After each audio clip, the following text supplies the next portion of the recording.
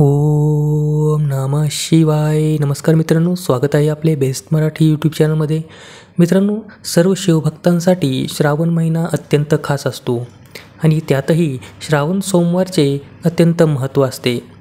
श्रावण सोमवारचे महात्म्य एवढे आहे की जो पण भक्त हे श्रावण सोमवारचे व्रत उपासना श्रद्धाभावाने व मनभावे करतो मानले जाते की शिवकृपेने त्याची प्रत्येक इच्छा ही पूर्ण होते.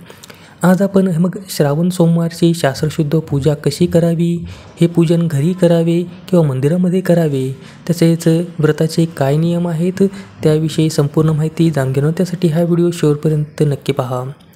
मित्रांनो यंदाचा दोन हजार चोवीसमधील जो श्रावण मास आहे तो पाच ऑगस्टपासून प्रारंभ होत आहे आणि पहिल्याच दिवशी श्रावण सोमवारचा योग जुळून आलेला आहे. त्यामुळे या श्रावण सोमवारच्या दिवशी आपण विधिवत भगवान शिव यांचे पूजनाबरोबरचं व्रत अवश्य करायचे आहे. मित्रांनो श्रावण महिन्यातील प्रत्येक दिवस हा महत्त्वाचा आहे. त्यामुळे काही व्यक्ती श्रावण मासचे संपूर्ण महिनाभर हे व्रत करतात परंतु आपणास महिनाभर व्रत करणे शक्य नसल्यास आपण श्रावण सोमवारचे व्रत केले तर देखील आपल्याला श्रावण मासचे पुण्यफळ प्राप्त होणार आहे. तर श्रावण मासमधील जे सोमवारचे व्रत आहे हे खास करून महिला आपल्या पतीच्या दीर्घायुष्यासाठी कुटुंब कल्याणासाठी तसेच कुमारिका इच्छित वरप्राप्तीसाठी हे व्रत मनोभावी करत असतात. मित्रांनो श्रावण सोमवारचे शिवपूजन नेमके घरी करावे की मंदिरामध्ये करावे त्याबाबत द्विधा मनस्थिती असते. तर श्रावण सोमवारचे शिवपूजन हे आपण घरी करू शकता तसेच मंदिरातही जाऊन करू शकता. तर सर्वप्रथम आपण या पूजनासाठी लागणारी जी सामग्री आहे ती जाणून घेऊया. तर आपण घरी पूजन करणार असाल तर अभिषेकासाठी आपल्याला पात्र लागणार आहे. ते पितळाचे असेल तर उत्तमच असणार आहे.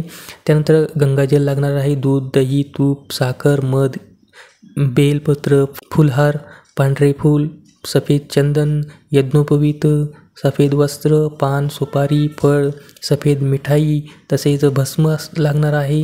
त्यानंतर शिवलिंग कापूर शिव यांची प्रतिमा तसेच माता पार्वतीसाठी सौभाग्य अलंकार लागणार आहे. त्यामध्ये सिंदूर बांगड्या इत्यादी सौभाग्य अलंकार आपल्याला लागणार आहे. आता आपण प्रत्यक्ष पूजाविधीविषयी जाणून घेऊया. तर शक्यतो आपण मंदिरामध्ये जाऊन पूजन केले तर ते अत्यंत शुभ व फलदायी मानले गेलेले आहे. जर घरी करणार असाल तर आपल्याकडे शिवपार्वती यांची प्रतिमा असेल तर ते प्रतिमा पूजास्थळी मांडून त्यांचे विधिवत पूजन आपण करू शकता. तसेच आपण मंदिरामध्ये ज्यावेळेस जाणार त्यावेळेस देखील पूजन कसे करायचे ते पाहूया. तर मंदिरामध्ये पूजन करण्यासाठी गेले असताना सर्वप्रथम आपल्याला दीप प्रज्वलन करायचं आहे. त्यानंतर पूजेला प्रारंभ करायचा आहे. शिवलिंगास आपण पंचामृताने अभिषेक घालायचा आहे. आणि अभिषेक घालत असताना ओम नम शिवाय ओम नम शिवाय या मंत्राचा जप करत आपण शिवलिंगास अभिषेक घालायचा आहे. पंचामृताने अभिषेक घातल्यानंतर पुन्हा गंगाजलाने पाण्याने अभिषेक घालून स्वच्छ करायचं आहे. त्यानंतर मंदिरामध्ये गेल्यानंतर एक पान त्यावर सिक्का व सुपारी ठेवून आपण भगवान शिव यांचे आवाहन करायचे आहे स्मरण करायचे आहे आणि ते पान व शिक्का सुपारी त्या ठिकाणी अर्पण करायचे आहे. त्यानंतर आपण वंद मंदिरामध्ये वस्त्र नेलेले असेल तर ते वस्त्र शिवपार्वतीस अर्पण करायचे आहे.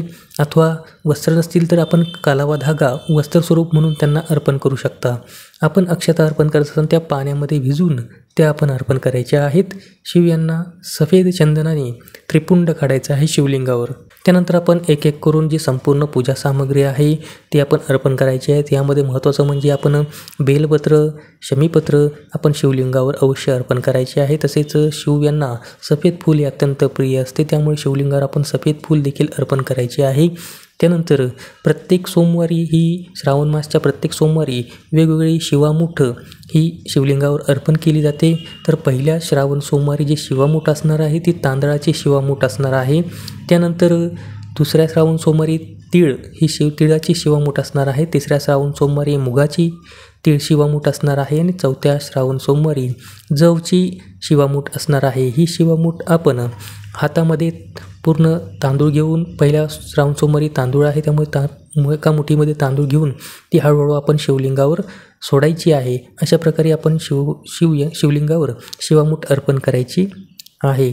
आणि अर्पण केल्यानंतर आपण शिवलिंगावर अकरा एकवीस बेलपत्र अर्पण करू शकता. तसेच फुलमाळ देखील शिवलिंगावर आपण अर्पण केलं तरी देखील चालणार आहे. संपूर्ण पूजा सामग्री अर्पण करून घ्यायचं आहे. शिवलिंगावर आपण गुलाल भस्म देखील अर्पण करायचा आहे. सर्व साहित्य अर्पण करून झाल्यानंतर आपण नैवेद्य म्हणून पाच फळे अर्पण करायची आहेत ठेवायची आहेत. लक्षात ठेवायचं की जे फळं व नैवेद्य ठेवणार ते आपण शिवलिंगावर ठेवायचे नाही तर आपण थोडे बाजूला ते नैवेद्य म्हणून ते पाळलेली फळं ठेवायची आहेत. त्याचबरोबर गणेश माता पार्वती यांचे देखील विधिवत पूजन आपण करायचं आहे. त्यानंतर पूजन संपन्न झाल्यानंतर भगवान शिव मंत्राचा म्हणजेच ओम नम शिवाय या मंत्राचा एकशे आठ वेळेस आपण जप करायचा. आहे.